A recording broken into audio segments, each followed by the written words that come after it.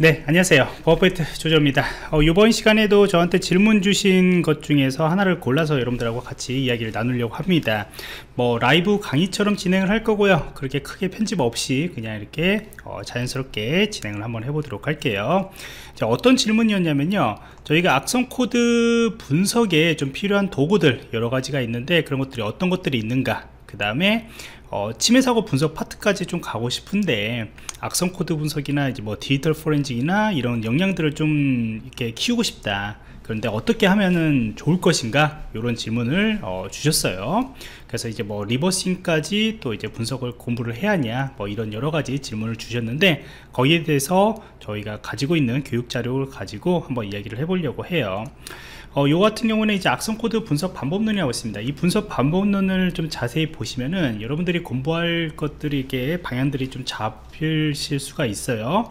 그리고 여기 안에 들어가 있는 상세한 그런 도구들도 그 책을 통해 가지고 여러분들이 좀 이렇게 쫓아갈 수가 있는데 우선 요 같은 경우는 이런 식으로 이제 진행을 하게 됩니다. 방법론에 따라서죠. 물론 이제 어느 정도 여러분들이 방법론 자기만의 방법론을 가지게 되면은 이제 편한 것으로 이제 먼저 이렇게 진행을 하게 되는 것이죠. 그래서 저는 이렇게 오토매틱으로 어, 분석을 하는 동안에 저는 이제 이런 것들을 어, 이렇게 동시에 좀 진행하는 어, 스타일입니다.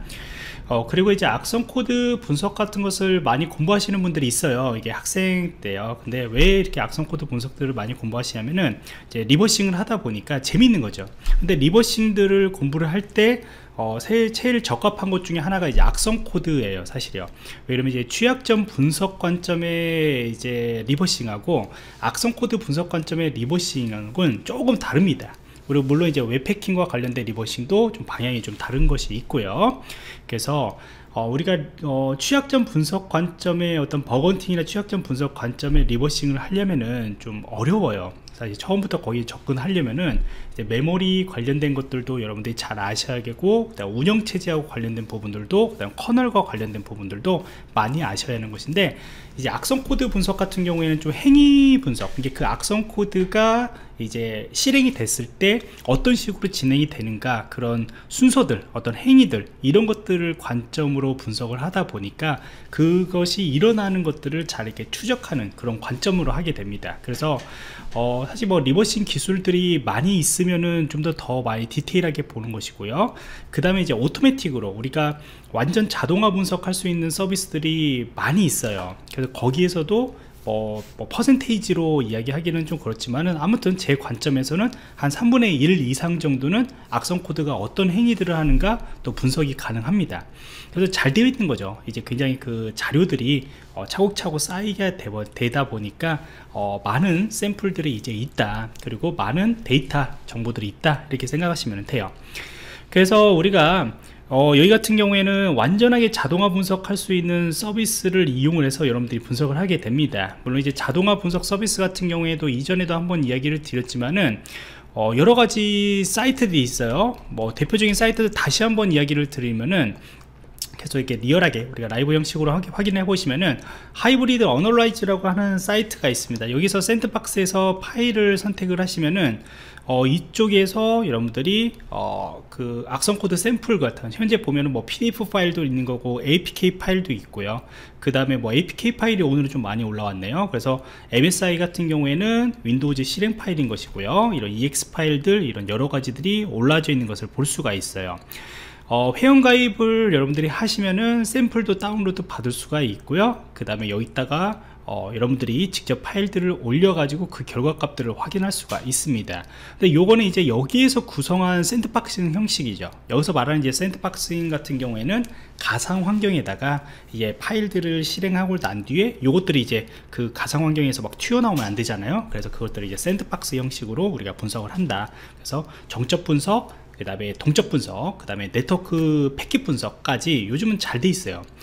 예전에 자동화 분석이라고 한다면은 이제 좀 정적 분석에 맞춰져 있는 그런 것들이 많이 있었는데 지금은 어, 웬만큼은 진행을 한다. 우리가 우회 기법이나 어, 이렇게 암호화 기법들 이외에 다른 것들은 거의 다 분석이 된다 보시면 돼요.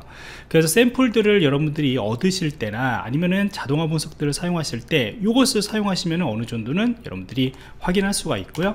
그 다음에 App Any.Run이라고 하는 사이트도 제가 추천을 이전에 드렸었습니다. 이 사이트 같은 경우도 Hybrid Analysis라고 하는 사이트하고 비슷한 수준으로 분석을 하게 되지만은 장단점이 있어요. 장단점이 있는데 저 같은 경우에는 App Any.Run이라고 하는 사이트가 되게 좋다고 이야기를 드렸습니다. 왜냐면 얘는 이런 프로세스의 그런 실행 정보들을 좀, 어, 좀 자유롭게, 좀 이렇게 어, 상세하게 볼 수 있는 예, 그런 정보들을 가지고 있어요 보기 좋다라는 것이죠. 예, 보기 좋다라는 것이고 그 다음에 이제 뭐 DNS 정보나 그런 것들이 한눈에 보이는 거죠. 이게 UI의 차이라고 보시면 돼요. 여기 있는 정보들하고 여기에 정보들하고 뭐 서로 장단점이 있습니다. 여기에도 있는 것도 있고 없는 것도 있고 여기도 있는 것도 있고 없는 것도 있겠지만은 둘이 같이 보시면 되고요. 딱 보더라도 이게 UI가 되게 좋아 보이잖아요. 한눈에 다 들어보잖아요. 그래서 App Any.Run이라고 하는 사이트 같은 경우에도 여러분들이 샘플도 다 다운로드를 받을 수 수가 있다. 물론 이제 로그인을 하셔야 합니다 예, 로그인 하시고 아, 얘는 그냥 바로 다운로드 되네요. 완전 공개를 했나 보네요. 시, 실행시키면 안 되겠죠?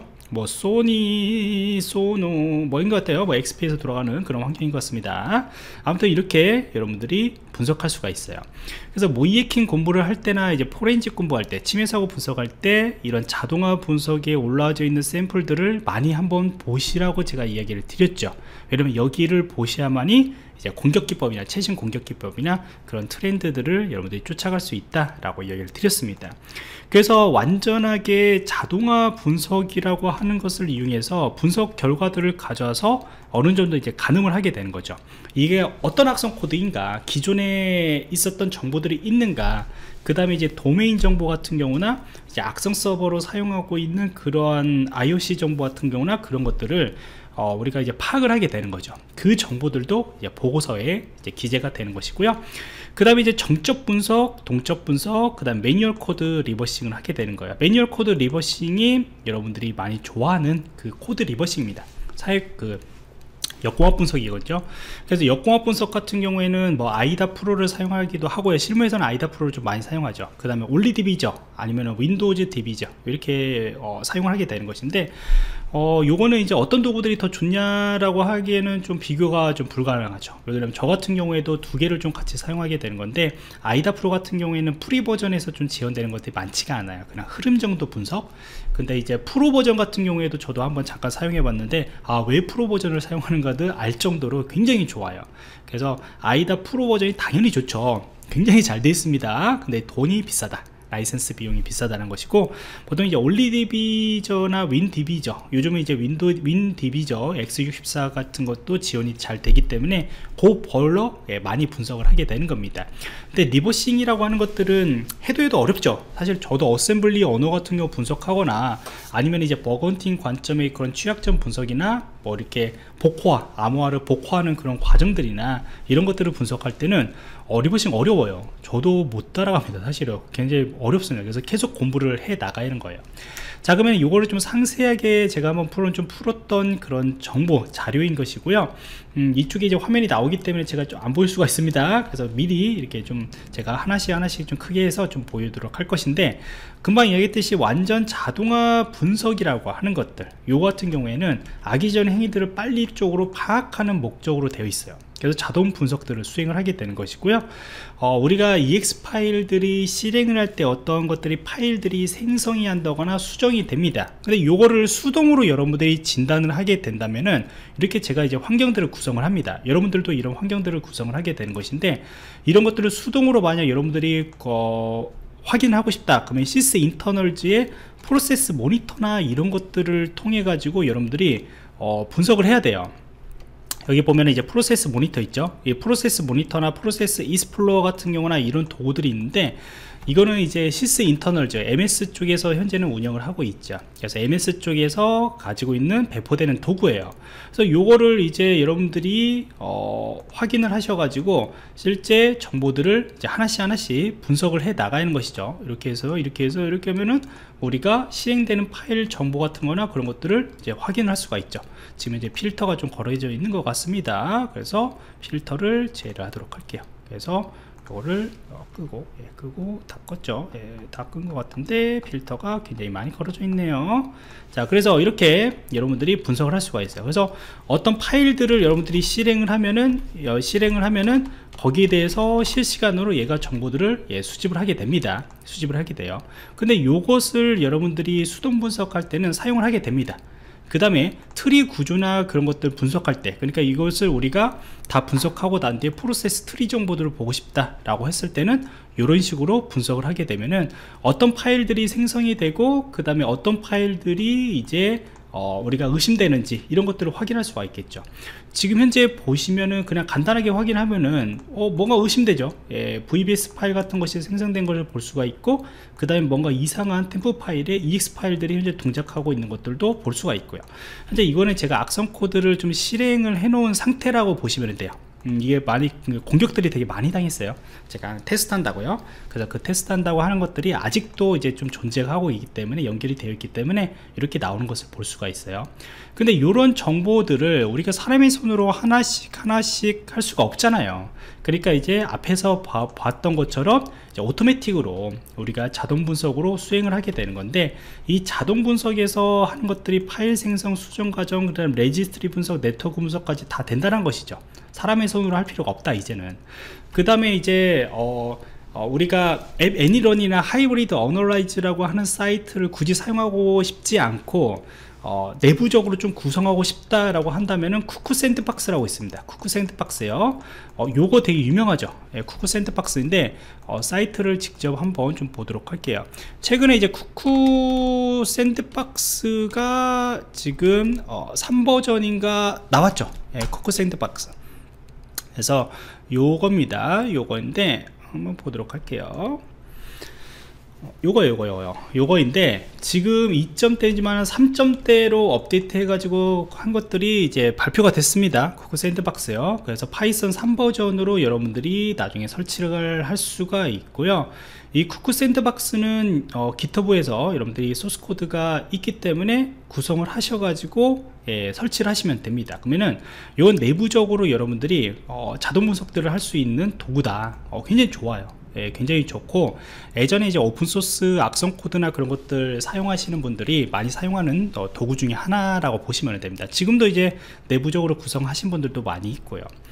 자 그 다음에 이제 정적 분석이에요 그 다음에 이제 정적 분석입니다. 이 정적 분석이라고 하고 있는 이 부분 같은 경우에 이제 사람의 손으로 하나씩 하나씩 이제 분석을 하는 과정이라고 보시면 돼요. 근데 이 정적 분석이라고 하는 것들은 말 그대로 파일을 실행하지 않은 상태에서 여러분들이 DLL 파일, EXE 파일, 이렇게 Windows 실행 파일들을 이제 분석을 하게 되는 거고 리눅스 같은 경우는 뭐 ELF 파일이나 이런 것들을 분석을 하게 되는 것인데 이 정적 분석 같은 경우에는 뭐 여러 가지 도구들을 소개를 하고 있습니다. 근데 최근에는 저는 딱 하나 예, 딱 하나로 다 해결을 합니다. 그 딱 하나가 어떤 거냐? 바로 P스튜디오라고 하는 애죠. 요 P스튜디오 어, P스튜디오 같은 경우 말 그대로 P 포맷 어, P라고 하는 것들이 이제 윈도우즈에 사용하고 있는 그 실행 파일의 포맷을 우리가 P 포맷이라고 이야기를 하게 되는 거죠. 그래서 P 포맷을 이용을 그 분석을 하게 되는 거고 지금은 이제 다 분석이 안 돼 있는 상태이기 때문에 이 정도 정보들만 현재 나오는 것을 볼 수가 있어요. 나오는 것을 볼 수가 있고요. 그래서 P4P 스튜디오 같은 경우에는 저희가 정적 분석 이렇게 해시값 정보들 해시값 정보들이 나오죠. MD5 샤원 샤26이라고 하는 해시값 정보들이 나오고요. 그 다음에 헤더 정보 그 다음에 임포트 해시 정보들 우리가 임포트 테이블 정보라고 해 가지고요. 음, 요 같은 경우는 여기 정보에는 현재는 안 나와 있습니다. 다시 한번 딴 걸 한번 열어볼까요? 이쪽에서 저희가 한번 뭐래서 P스튜디오 해서 하나 열어보도록 할 것이고요. 지금 아마 통신이 안 돼 있는 상태의 정보들을 열다 보니까 좀 정보들이 좀 미약하게 나온 것들이 있는 것 같아요. 어, 요 같은 경우에는 제가 이제 어, VirtualBox에다가 Windows 아, 그 악성 코드 분석하는 환경들을 구성을 한 겁니다. 가상 환경에다가 분석을 한 것이고요. 어, 이런 환경들을 여러분들이 어, 좀 미리 좀 이렇게 구성을 할 필요가 있습니다. 예, 구성을 할 필요가 있어요. 그래서 저 같은 경우에도 이렇게 하나씩 하나씩 좀 구성을 해놔서 지금 보는 거거든요. 하나씩 이렇게 보는 것이고 그 다음에 이 샘플 같은 경우에도 이제 책이나 아니면은 앞에서 소개했던 그런 Hybrid Analysis 같은 거나 app ANY.RUN이라고 하는 그런 사이트에서 이제 가져온 겁니다. 그래서 샘플을 얻는 것은 그렇게 뭐 어렵지 않다 어렵지 않다라는 것을 볼 수가 있고요. 자 그래서 이제 string 정보 같은 거나 그런 것들도 여기 나오는 것을 볼 수가 있어요. 그래서 뒤쪽에서 장표에서 봤듯이 우리가 문자열 header 정보 같은 거 hash값 정보 그 다음에 resource packing 여부 그 다음에 문자열 정보들까지 이제 나오게 되는 것이죠 그 안에서 중요한 정보들이 있는가. 그 다음에 이 EXE 파일들이 이제 import 정보를 가져왔을 때 어, 어떤 Windows API 정보들을 사용하는가. 그게 되게 중요하거든요. 그래서 그런 정보들도 여기서 가져오게 되는 거고요. 그 다음에 이제 바이러스 토탈 정보 바이러스 토탈 서비스 정보 같은 경우는 이게 이제 실제 악성 코드이냐 어, 이런 것들 봇 형태냐 이런 것들을 어, 분석할 수 있는 그런 백신 업체에서 제공해주는 그런 정보라고 보시면 됩니다. 그래서 이런 것들이 이제 정적 분석이라고 보시면 돼요. 실행하지 않았죠. 제가 EX 파일을 실행하지 않은 상태에서 EX 파일 정보 안에 헤더 정보에 있는 정보들을 우리가 분석하는 거다 라고 보시면 됩니다. 어, 그래서 우리는 지금은 저는 이제 PEStudio 금방 이야기했듯이 PEStudio 하나로 다 해결돼요. 어, 전 모르겠습니다. 다른 분들은 또 어떻게 분석할지 모르겠는데 어떤 분들 같은 경우는 자동화 분석 서비스를 그냥 가져오는 경우들도 많이 있고요. 저 같은 경우는 PEStudio로 한 번 더 정리하는 예, 스타일입니다. 자, 그 다음에 이제 동적 분석이라고 하는 것은 아까 저희가 어, PS tree 정보 같은 경우나 아니면 Process Monitor 정보 같은 거나 Process Explorer 정보들을 우리가 확인을 한다고 이야기를 드렸죠. 그래서 제일 많이 사용하는 도구 중에 하나가 금방 이야기했듯이 Sysinternals 정보입니다 사실 동적 분석을 할 때는 이 정보 하나면은 어, 상당히 많은 부분들을 여러분들이 캡처를 할 수가 있어요. 요 캡처를 할 수가 있고요. 그 다음에 이제 그 동적 분석할 때 중요한 것은 지금처럼 이제 가상 환경에다가 여러분들이 구성을 해야 하는 것인데 저는 Windows 7 개발자 환경으로 그냥 구성을 해놨습니다. 근데 악성 코드에 따라서 Windows 7에서 동작하는 것이 있고 뭐 Windows 10에서 동작하고 있는 것이 있는데 사실 Windows 7에서 동작하면 웬만큼 Windows 10도 동작이 돼요. 근데 그런 환경마다 좀 다 다릅니다 왜냐면 이제 악성 코드가 어, 환경들을 미리 좀 분석을 해가지고 이게 정상적으로 실행을 시킬 때가 있고 그렇지 않을 때가 있어요. 그러니까 한마디로 가상 환경에서 뭔가 실행이 되는 것들이 딱 보인다. 그러면 이제 멈추는 것들을 우리가 anti VM이라고 했거든요 anti anti 뭐 virtual 환경이라고 얘기해 보시면 되고요. 그 다음에 이제 요것들이 운영체제 같은 경우에도 좀 많이 사용하는 사람들이 많이 사용하는 것이 현재는 Windows 10이잖아요 근데 그렇기 때문에 Windows 10에서만 동작을 하게 만든다. 그는 이제 악성 코드들이 어떻게 제작하냐에 따라서 다릅니다. 근데 거의 다 Windows 어, 10에 돌아가는 것이 Windows 7도 거의 다 같이 돌아가기 때문에 보통 가상 환경 분석할 때는 용량이 좀 부족 그 용량으로 인해서 Windows 7을 좀 많이 구성을 한다. 그리고 도구들도 Windows 7 환경에서 동작하는 것들이 많이 있기 때문에 이렇게 저는 구성을 했습니다 그리고 그래서 이제 이 환경들을 여러분들이 잘 구성을 해놔야 돼요. 이런 동적, 동적 분석이라고 하는 것들은 얘가 실행이 되면서 이제 생기는 그런 정보들을 최대한 많이 끌어 모아 가지고 분석을 해야 하는 것이거든요. 그렇기 때문에 금방 얘기했던 Sysinternals 정보에선 이런 정보들을 여러분들이 가져올 수가 있고요. 그 다음에 이제 메모리 분석 정보. 메모리 분석 같은 경우에도 여러분들이 악성 코드 분석을 할 때 사용할 수도 있고 그렇지 않을 경우들도 있어요. 요거는 이제 필수 사항은 아니에요 그리고 메모리 포렌지 분석이라고 하는 것들이 한참 국내에서도 연구가 많이 일어났었고요 하지만은 지금 용량이 굉장히 크잖아요 이게 개인 PC 같은 경우에는 어, 메모리가 물리 메모리죠 물리 메모리 기준으로 봤을 때 어, 한, 저 같은 경우에도 노트북이 한 24기가 정도 되거든요. 근데 보통 16기가 정도 막 넘고 8기가가 보통이잖아요. 그러니까 메모리 포렌지 분석을 할 때 좀 제한적이에요. 이게 이제 8기가 정도가 되면은 분석할 때 굉장히 많은 시간들이 걸리고 그 다음에 이제 도구들이 어, 메모리 포렌식 분석할 때 Volatility라고 하는 오픈 도구들을 사용하게 되는 건데 그것들이 이제 8기가를 좀 제한 저, 분석을 할 때 제한적인 부분들이 많이 있어요. 그래서 요거를 요즘은 그렇게 크게 많이 활용하지 않는다. 악성 코드 분석을 할때 음, 많이 크게 활용하지 않습니다. 하지만은 음, 이런 것들 이게 어, 우리가 휘발성 정보라고 이야기를 하죠. 예, 컴퓨터가 꺼지면은 정보들이 날아가는 것들을 우리가 휘발성 정보라고 이야기를 하게 되는 건데 그 휘발성 정보들을 이제 비휘발성 정보처럼 분석하고 싶다. 왜 그러면 메모리라고 하는 곳에 이제 남겨진 것들을 파일들로 가져와서 분석하는 거란 말이죠.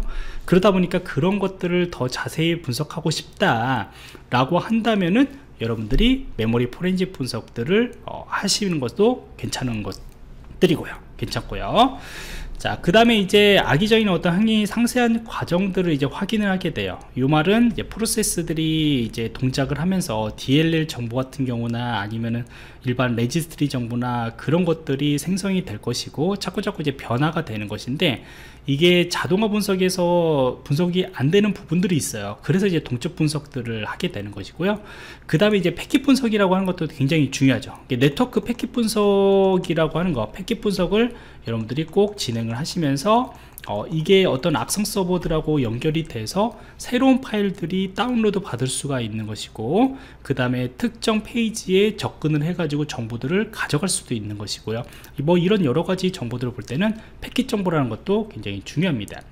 그 다음에 이제 수동코드 분석 reversing이라고 하는 것들은 어, 굉장히 많죠. 우리가 왜 reversing을 하냐에 따라서 하는 것들에 대해서는 많습니다. 그래서 특정 루틴에 대해서 난독화가 된 것들을 우리가 복호하기 위한 목적으로 하는 경우들도 있고요. 이게 제일 크죠. 제일 큰 거고요.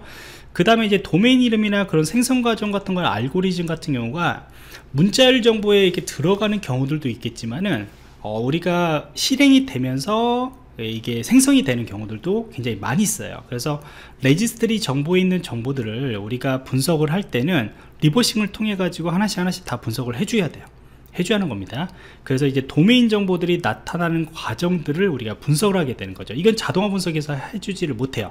자동화 분석 같은 경우에는 그냥 그때 딱 생겨 가지고 연결되는 도메인 정보들만 파악이 되는 것이고 실제 도메인 이름이 생성되는 그 알고리즘 분석이나 그런 것들은 어, 제한적이죠. 예, 하지 못합니다. 그래서 이런 것들을 우리가 reversing을 하게 되는 거예요.